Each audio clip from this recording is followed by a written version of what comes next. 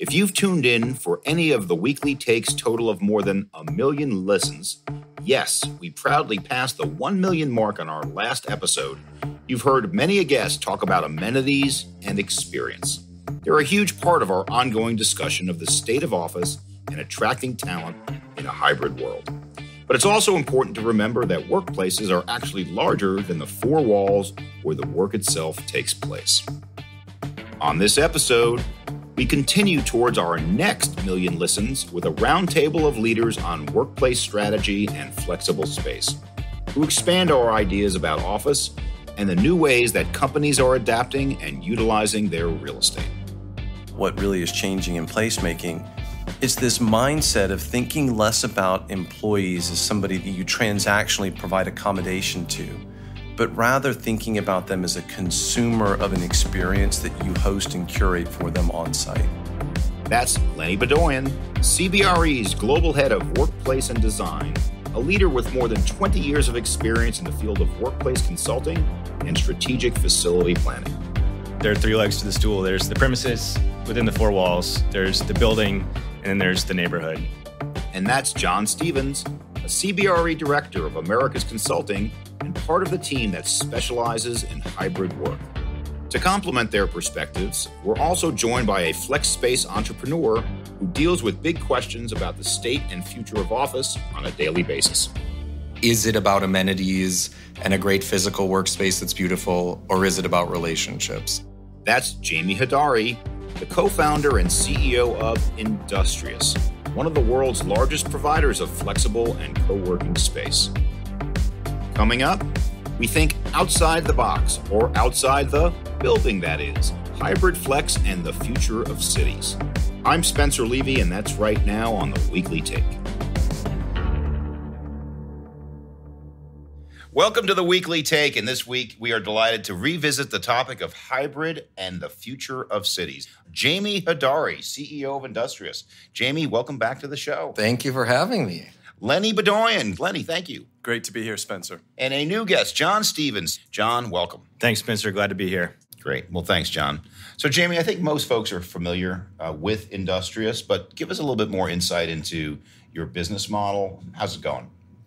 The company's about 11, 12 years old. I would say on the customer facing side of things, the, the thing we're known for, very focused on can we deliver a workplace to customers that's as good as if they did it themselves? And then on the supply side of the business, on the landlord facing side, that's actually probably the even more different side of it. We only do management agreements with landlords. So we basically do a partnership with them and we turn a portion of their building into flex space. And that's obviously a less swingy, a little bit less risky business model than what people traditionally associate the flex business with. So, in general, that did help in the depths of 2020, which was a tough time for flex providers. I think what a lot of people don't know is since 2021, it's been a roaring time in general for flex providers. For a lot of companies, what happened is either they're getting out of large headquarters type space or they have employees that moved all around the country and it's oh my god i need a 20 person space in denver and a 51 person space in dallas and a 3 person space in boulder and i'm not going to necessarily build that out myself and run that so it's been a period of a lot of growth for the business i guess i would finish by saying and i think this is definitely going to be relevant to the conversation today the only dark cloud the only thing that i have really seen hang over the business is that the difference between a high performing and low performing unit is much higher than pre COVID. And in particular, all of our units that are in neighborhoods where people can walk or bike to work are doing really well. And all of our units that are in vibrant CBDs are doing well. But our units that are in sleepy CBDs that are empty after 6 p.m. on the 40th floor of an office tower, those ones are struggling a bit more. So as we grow our network, we're having to be responsive to that pattern of customer demand. Mm-hmm. Well, Lenny, I think it's a great segue to the question I was going to ask you because while there's some great success within Industrious and certain of their locations, maybe some of them in the suburbs seem to be outperforming the CBDs. What are you seeing, Lenny? Well, a couple of things in that, Spencer. One, it depends on the size of the occupier. So smaller companies or smaller tenancies are seeing a much greater return to office, right? Because they're just used to working together and being together. But those large tendencies, those large organizations are lagging in utilization. It was interesting in reporting from Kastle Systems last week. it eclipsed with their measurement 50% occupancy for the first time since 2020. And that still is significantly off of where we were pre pandemic. And so, what we're seeing is, Jamie said, those spaces, those occupiers in the sleepy CBDs, those are challenged. Those are places that are generally longer commutes, harder to get to, less things to do after work, places people want to be less. I think people making the choice to come into the office, they're choosing to be in places where there's vibrancy, where when I come in, make the commute, the reason for being there is greater than being working remote for that day. So we see utilization still off of where it was pre-pandemic with the largest occupiers. That varies in different submarkets, and I know John will probably have a really strong opinion about that. But I think those places where there's a better reason for people to come into the office or there's a more vibrant experience, those are seeing utilization in excess of those that don't have those attributes. So, John, Lenny invited you to dig in on submarkets. And so, what's your point of view? Yeah, so this concept of the, the sleepy CBD has come up a few times already. And I think it's important to recognize um, areas that were commercial or corporate, even pre COVID, uh, they had really down periods. Try getting a salad in Midtown New York on a Saturday before the pandemic. It's hard. A lot of places were closed. It was sleepy on the weekend, only because the, the dominant use there was office.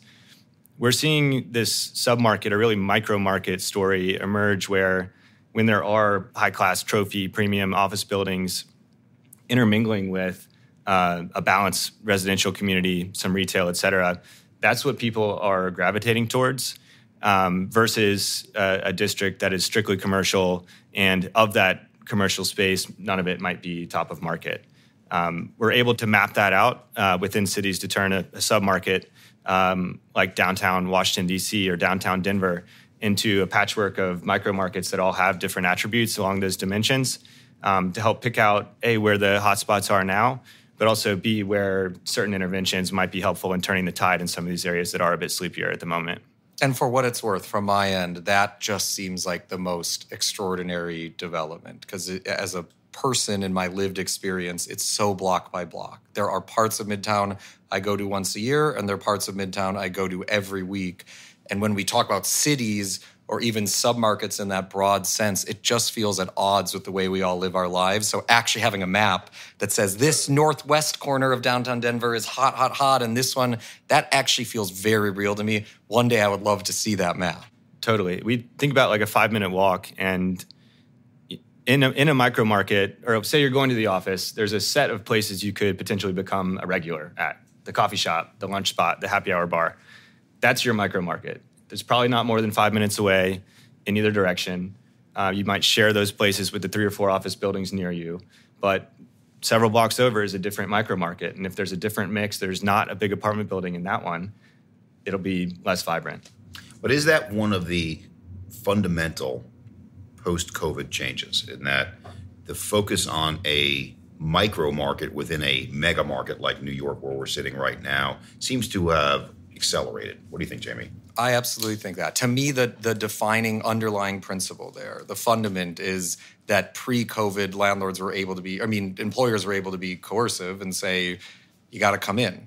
And if I tell you your job requires you to go to 10th and 37th, you got to go to 10th and 37th. And now that employees have the choice of when to go in and if what they want to go in at all, it magnifies the distinctions between places people want to be or don't want to be. So maybe those micro market distinctions were always there. And maybe to the individual, they were always just as pronounced.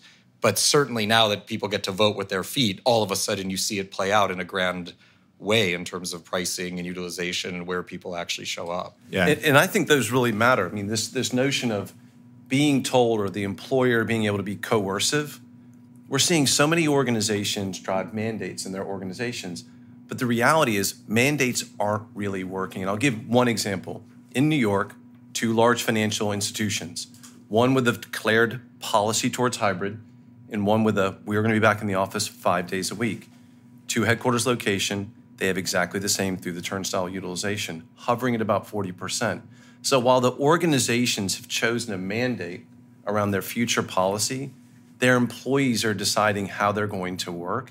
And the reality is, until that employee value proposition is going to attract them back, until that micro market is meaningful and it's worth the commute, employees just aren't going to come back to a lackluster, ill equipped solution of going to an office building that's not fit for their purpose and doesn't have the vibrancy to really attract them in. I think the most powerful kind of incentive to go back to the office is a personal relationship with somebody else in the company. If you're a younger person, it's for learning, mentorship, apprenticeship, development. We come into the office to be with other people. And if you're showing up and you're doing the same things you do when you're working at home, but in the office, it'll feel like a bad idea. Um, you had to get out of bed earlier, you had to commute, you had to pay money for lunch versus making it at home. I think there are several areas that you can provide a return on that that cost to coming in, but the most powerful one I think is between a manager and an employee interacting face to face within the margins. It doesn't even have to be for a specific meeting, but just the exposure aspect um, is a powerful thing. So, on that point, Lenny, getting the senior people back in the office, not saying first, but get them back there in mass, which will draw the more junior people back, sounds good in concept, but you need to have this trust or apprentice type of relationship. What do you think, Lenny? Well, I think getting influencers back in the office. I mean, we've said this from the beginning. The the biggest amenity in the office to employees are other employees, people. Nobody likes to go eat in an empty restaurant, and nobody wants to go into an office where there's not lots of people and lots of activity. And so, how do you manage that in terms of creating a real draw to others? The people who generally are more senior in an organization, as John mentioned, are the ones who have the most to share and the most others have to learn from. So creating a guide path, a, a, glide path or a path of least resistance for those people coming back varies in different organizations. And in a financial investment bank, it might be entitlement of space to the senior most producers and some flexibility of space around that to attract others back into the office. I think that's going to vary organizationally, but I do think organizations are being really attuned to how do I attract people back and make the choice of coming back their decision. I think the concept you're describing makes sense to me. I will say I don't see them as intention. It, to me, it's not, is it about amenities and a great physical workspace that's beautiful, or is it about relationships? I really believe that the first can power the second. Like, I've just, if you're at a Days Inn, you're probably not going to meet the other de- guests. And if you're at a gorgeous resort where you're having the time of your life and you feel taken care of, you're so much more likely to develop relationships. When you go to a kind of bad wedding, for lack of a better term, where the lights are too bright and the acoustics are bad. Oftentimes, looking at your watch, you're ready to go home. And when you're at an amazing wedding where the music's great and it's comfortable and the acoustics work so you can hear everyone else at the table, you can get to the end of the weekend and you wish it was two days longer than that and you leave with new friends. So I think you are right that the absolute bedrock is the power of the interpersonal relationships at work, the level of trust, and the degree to which being in person is more interesting and vibrant and powers that, which I do think is true.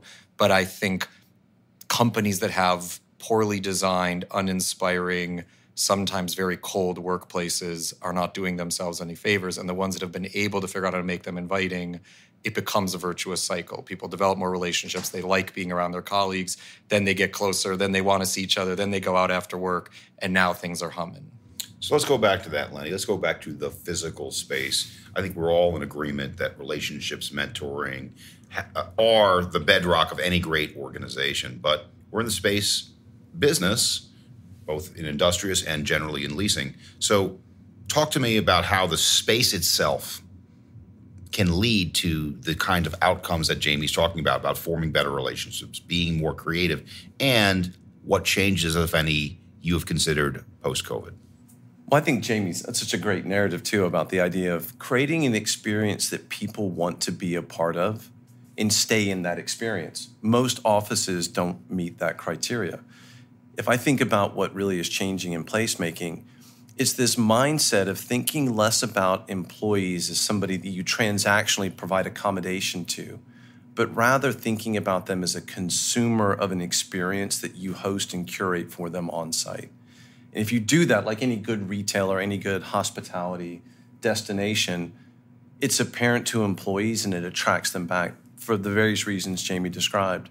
How that manifests itself in terms of space design are flexibility and choice in the office, not one desk that I go to, but a network or a venue of spaces which I can choose that creates a lot of comfort and choice and optionality for employees. Certainly, superior technology and connectivity better than I would have in my home office, but also a sense of wellness and support and thoughtful places where I intersect and engage other employees.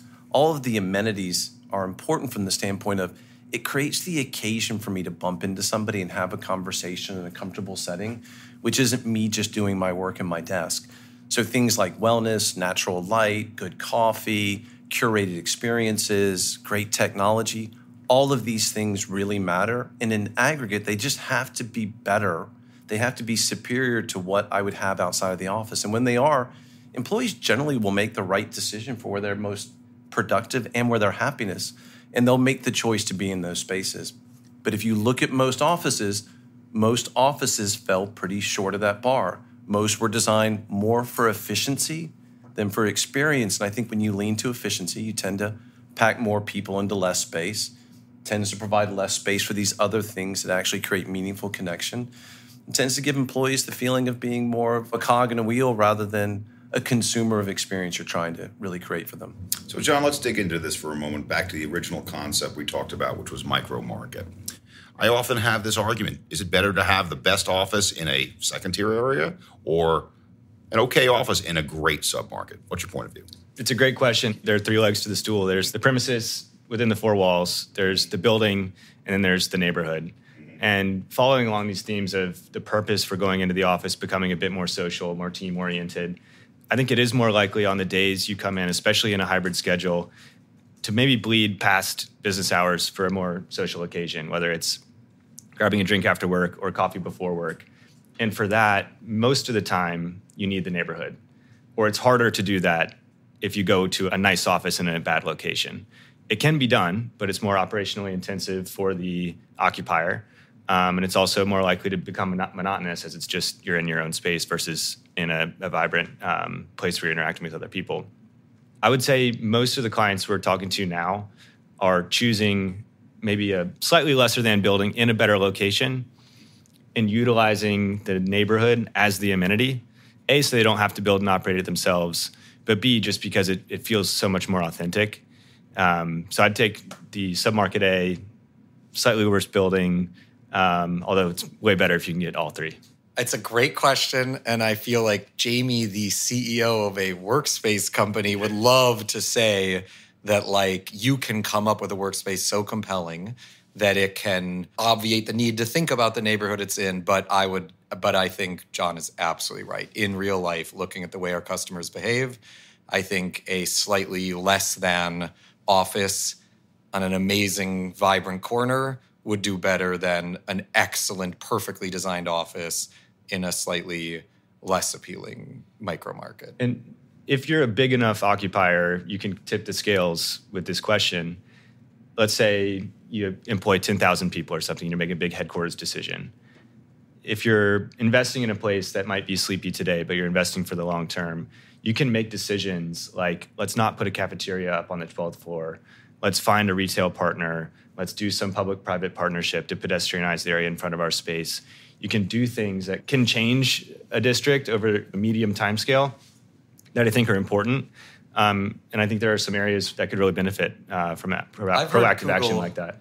I've heard Google, I think, has talked about them, for example, themselves that way. That it's like you want to go on vacation somewhere sunny, but when you're us, you can make your own weather. Like, and they really have done that with the Deep West Side in Manhattan, for example. So I totally agree. There is a scale where you can make it vibrant because you're delivering so many people and so many of those experiences yourself. Well, Jamie, that's such a great example because I've been in the New York City real estate business for 30 years, and I can tell you that the far west side 30 years ago ain't what it is today.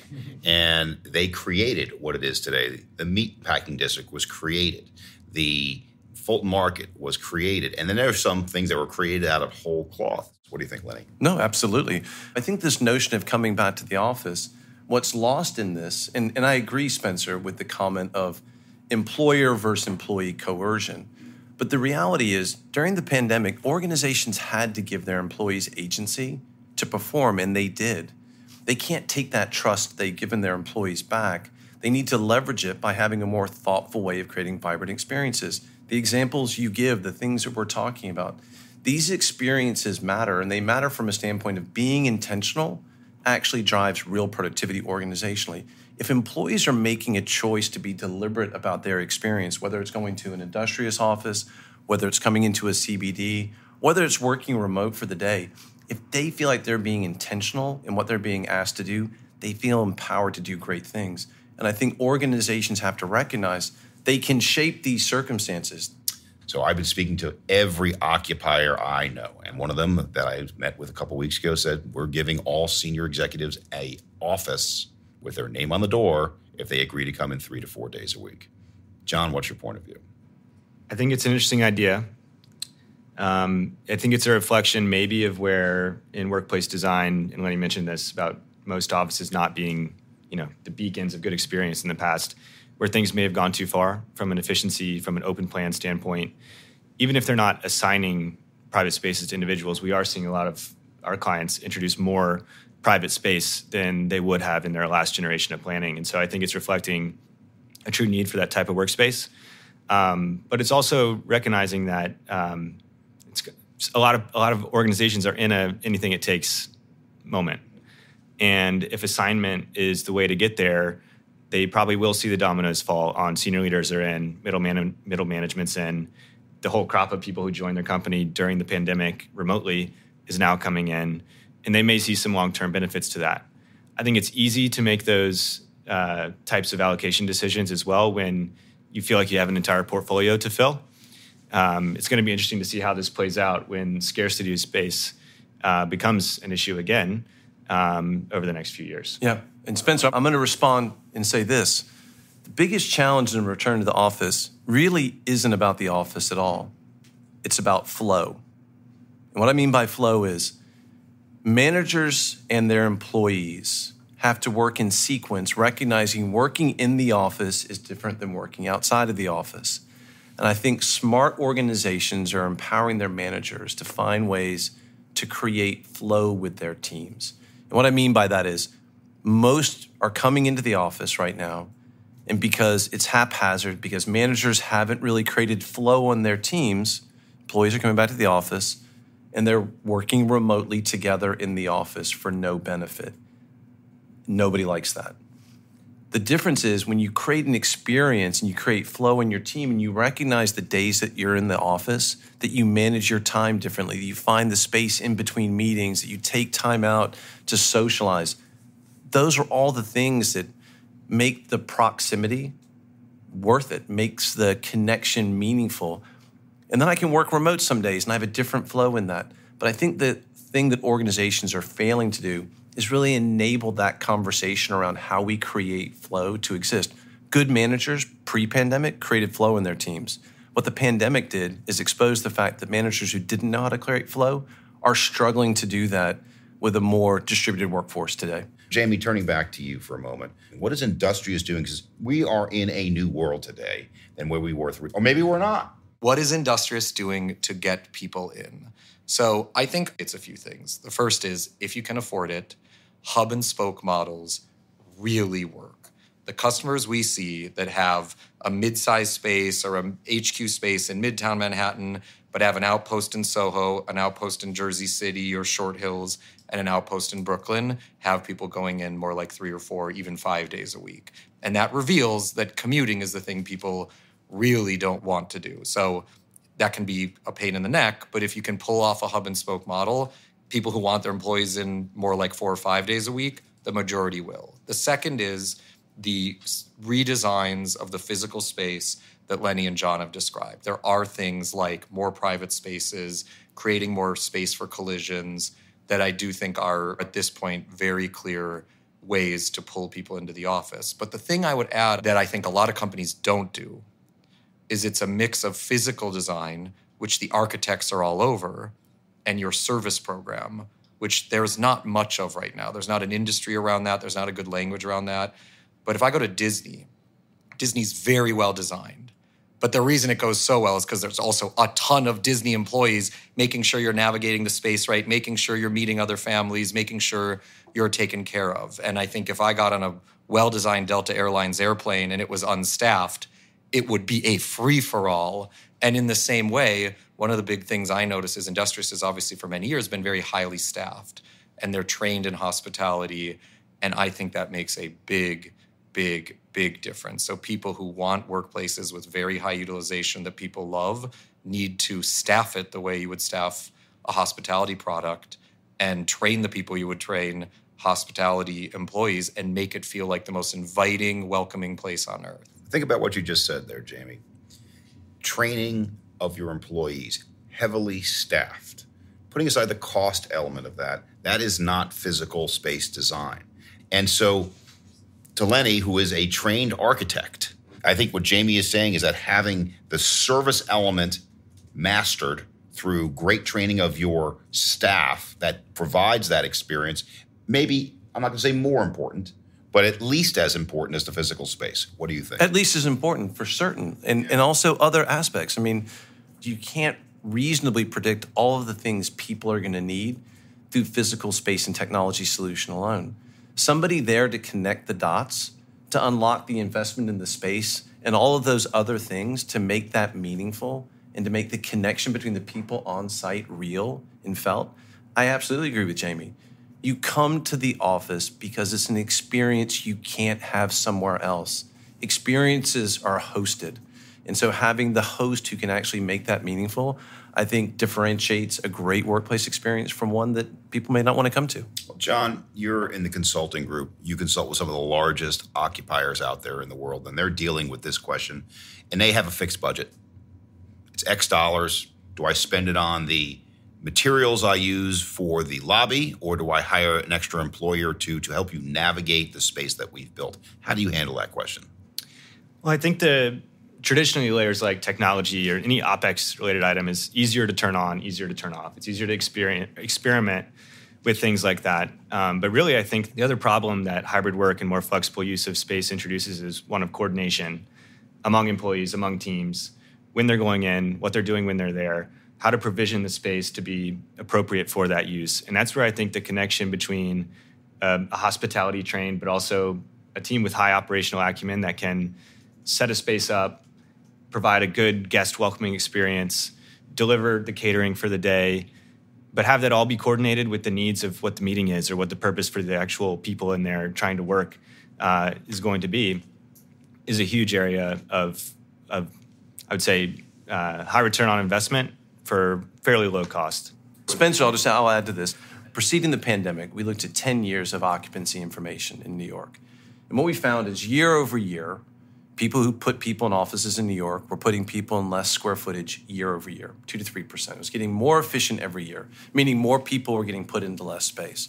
Now, if you accept that, that means less space to build out, less space to rent, more efficient. So you would think these organizations are lowering the cost of occupancy for each of those employees. But what was interesting during that same time, when we looked at the occupancy expense, meaning the cost per seat, it was going up year over year at the same time. So, what was happening pre pandemic is organizations were shifting investment from more space they were building out to better quality space, better services, better amenitized and appointed solutions for their employees. So, this isn't new thinking. This is the pandemic accelerating that reality because now you have a consumer base of employees who demand better. And so, I think that's what's accelerating all the things Jamie talked about. This investment this reinvestment of taking things out of a lot of extra physical space we might not need and focusing in that into the things that people really want, which is a really rich and dynamic experience, again, was happening before the pandemic, but we think is going to happen with increased emphasis going forward.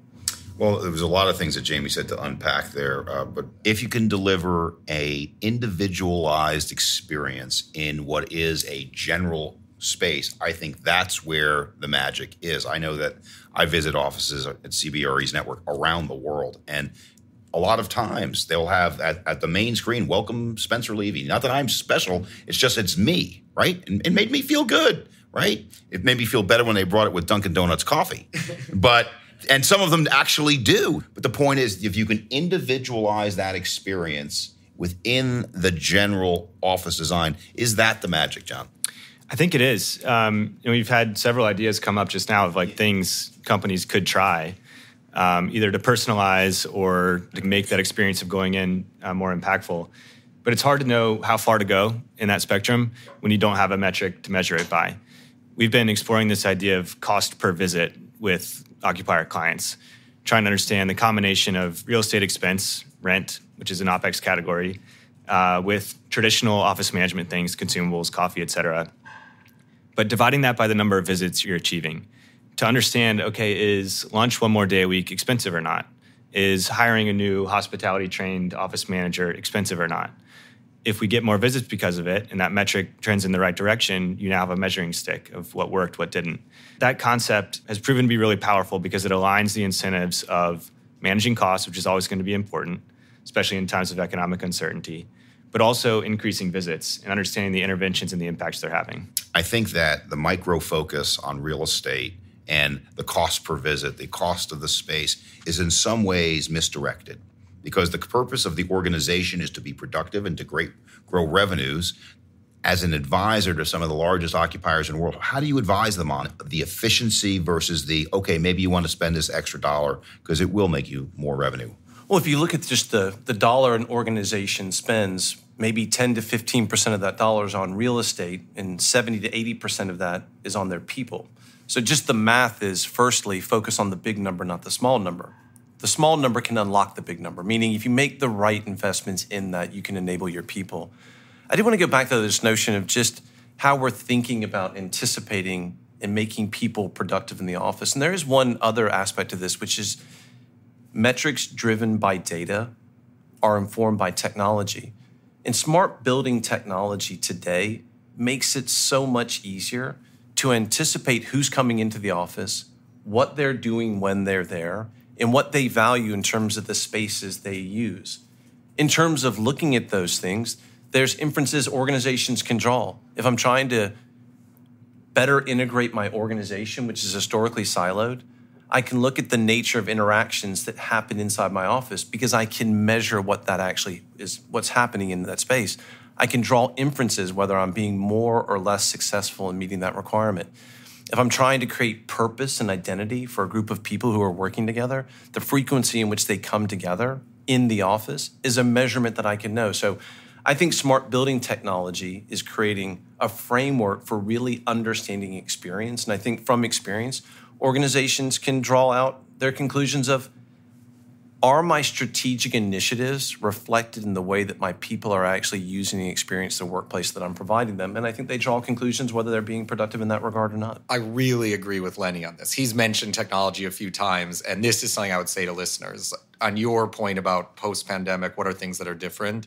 I think there are a lot of customers, a lot of, a lot of companies that started using workplace apps in 2017, 2018, and they felt like it wasn't that important, or building apps or sensors and that has changed a lot. And unfortunately, there are companies that still think, oh, this is a strange accoutrement that no one really cares about. But the reality is that people are going to come in a few days a week. And sometimes they're going to work out of your main office space, and sometimes they're going to work out of the building common meeting area downstairs. And sometimes they're going to work from a spoke office in Brooklyn. That is impossible to manage without a digital infrastructure that sits on top of it. So a lot of these digital things that some customers still think of as, hey, I'm being sold on something that's a little bit ancillary or unnecessary. In the last years, it has become an absolutely fundamental part of navigating a modern workplace experience for your employees. So, Jamie, we're just about out of time. So, any final thoughts before you leave? One is I don't want this to sound, you know, I've really enjoyed being on this. I've really enjoyed what you've said, what Lenny has said, what John has said, it has highlighted for me that I think the types of things that you guys do are really essential for companies and they save companies money because I, I don't want to knock architecture firms. There are some great ones, but the incentives are a little strange. They want you to spend as much as possible on building out an amazing show space and then they move on to their next project and they don't have to sit around and see how do people vote with their feet what do they actually do? And i think it's people who are in workplace and have to sit with the client and come back to the client a year later and say did this work? Did this not work? Can we try something new? What i hear you talking about is stuff that's so close to what companies actually want and i've learned a lot from you even in the course of the last hour. So lenny uh, final thoughts. Uh, you come from an architectural background. We're talking workplace design but i think jamie's final comments really summed it up is that we're dealing with a balancing act here of architecture and people that are uh, in the space, employees. But Lenny, you're an architect too. How do you respond to what Jamie said and any final thoughts? I'm going to take a deep track here because I would say what's most exciting about right now connects to the reason I'm in this business. Yeah. I've always thought about my job as much as a vocation, as a profession, meaning if we do what we do right, if we really think intentionally about the experience employees have, we make the world a better place. We make these people more connected, more supported. Workplace as a conversation inside organizations has never been more relevant than it is now. And it's with great responsibility and that, that vocation of being able to meet this moment and create a better world for people to go to work and be productive and be closer to their families and be successful in, in all the things that we would hope would come out of meeting this moment with a redefinition of how real estate actually supports a better world to live in. So, John, final thoughts, uh, and again, uh, any additional thoughts on this? Two things. First, on micro markets, a lot of the examples of this we cited during the show uh, were built outside of the traditional CBD. Sometimes in, they required new subway lines to, to get to them. And now looking forward, we have really an infill opportunity uh, to create these in what have historically been vibrant places, some of our most culturally relevant cities around the country and around the world. Really, really exciting. Um, and second, we talked a lot about office today, um, but this is going to become a housing story before long. It kind of already is, maybe something for a different episode. Um, but the pandemic exposed a long running uh, tension and constraint in our economy, which is that everybody had to live close to their job, close enough to commute every day. And not only did the houses have to be close to work, um, but each job needed a lot of office square footage, um, led to intense concentration of jobs, intense concentration of housing, a lot of waiting in traffic, a lot of rising housing costs, both really significant economically. With this constraint eased somewhat, plus the sort of monopoly of office on CBD being eased, upends everything about economic development and urban planning um, and it's definitely uncertain, but it's an exciting time and one I hope you'll look back on as central to creating a brighter, brighter future. So, on behalf of the Weekly Take, I'm going to thank Lenny Beaudoin, Global Head of Workplace and Design CBRE. Lenny, thank you for coming back to the show again. Great job. Great pleasure. Thank you, Spencer. Jamie Hodari, CEO of Industrious. Jamie, terrific job today. Thanks for joining the show again. Thanks. And John Stephens, the Senior Director at Americas Consulting CBRE. John, first time on the show. Well done. Appreciate it. For more, please visit our website, cbre.com slash the weekly take.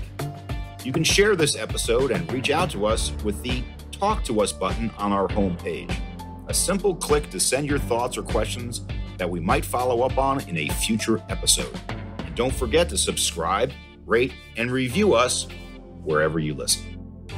We're taking off next week to celebrate July 4th, but we'll be back after the fireworks with episodes including expert insights on the capital markets at a crucial time of uncertainty and lots more. So enjoy your holiday. Hope to see you then. For now, thanks for joining us. I'm Spencer Levy. Be smart, be safe, be well.